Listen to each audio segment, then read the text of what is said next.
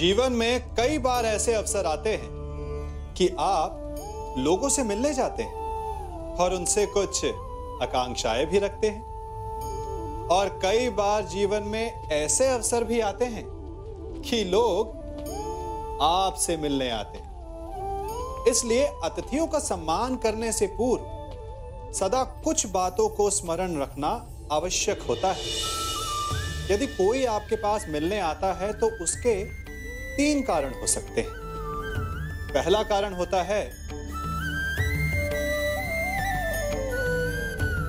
भाव।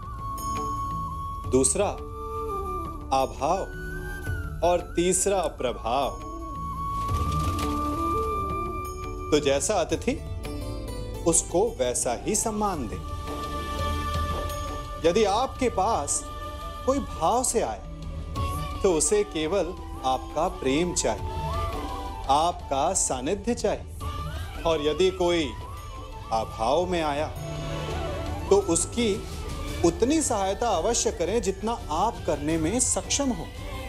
परंतु इतनी अधिक भी ना करें कि वो उस सहायता का दुरुपयोग कर बैठे। और यदि कोई प्रभाव में आया तो स्वयं पर अभिमान ना करें। क्योंकि कभी ना कभी जीवन में आप भी भाव अभाव और प्रभाव के चक्रव्यूह में फंस सकते हैं।